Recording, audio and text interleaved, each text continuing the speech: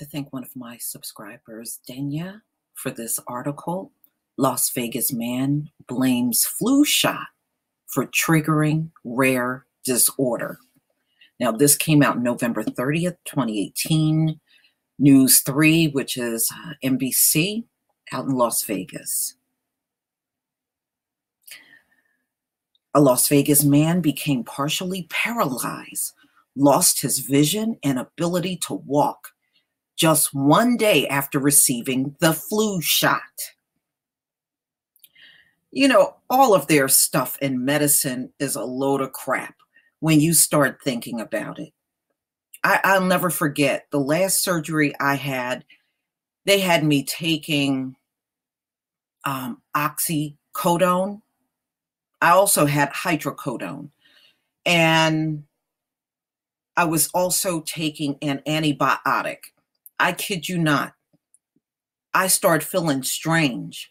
And I remember I picked up the bottle and I had the bag that, you know, the medicine came in. So I pulled off, you know, all of the information that it gives you on it.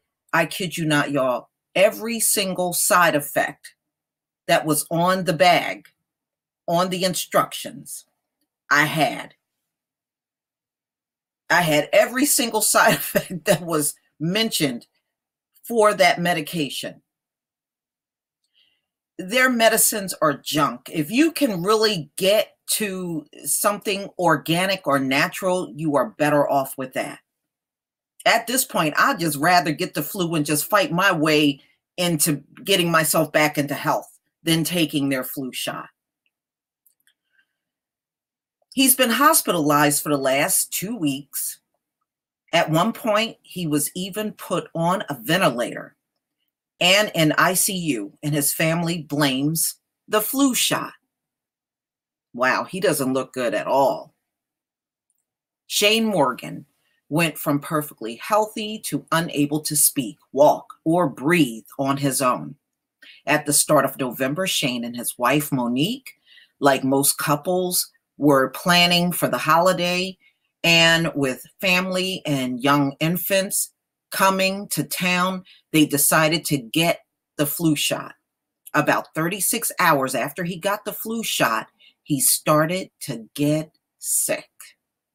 Monique said as she sat next to her husband in his hospital bed, Shane started complaining that he couldn't feel his legs or arms. So his wife rushed him to Centennial Hills Hospital, where he spent four days on a ventilator in the ICU. Doctors started treating Shane for Guillain Barre syndrome, also known as GBS. It's a rare disorder where a person's immune system damages their nerve cells, in some cases, turning deadly. The Morgans say they're sure the flu shot is what triggered it. I never dreamed that any of this could ever happen, Shane said from his hospital bed. According to the CDC, there is a link between the flu shot and GBS. But it's extremely rare. Yeah, well, you said you said a lot of things are extremely rare, just like the polio like virus that these kids are getting, but they're all getting it. Um, statistics show one to three people develop GBS from the flu shot, one per 1 million vaccinations. Officials with the Southern Nevada Health District say the risk of developing GBS is actually higher if you catch the flu. The benefit from the flu vaccine greatly overcomes any specific rare condition like this one that might happen, said Fermin Leguen, um, Chief Medical Officer with the health district.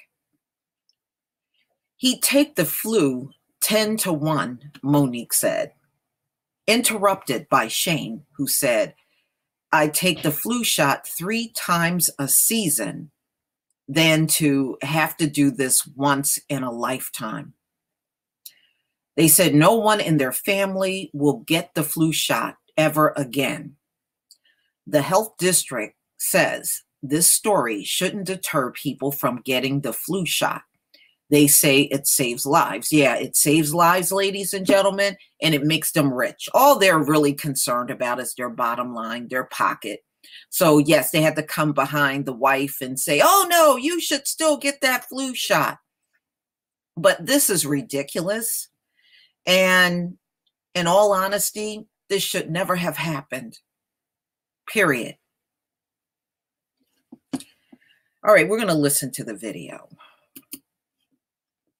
A Las Vegas man became partially paralyzed, loses his vision and his ability to walk just one day after receiving the flu shot. And guess what? He's been hospitalized for the last two weeks. In fact, at one point, his family watched terrified seeing him on a ventilator in the ICU. New at six, his family blames the flu shot. Gabby Hart joins us live from the Southern Nevada Health District. Gabby, what can you tell us about this?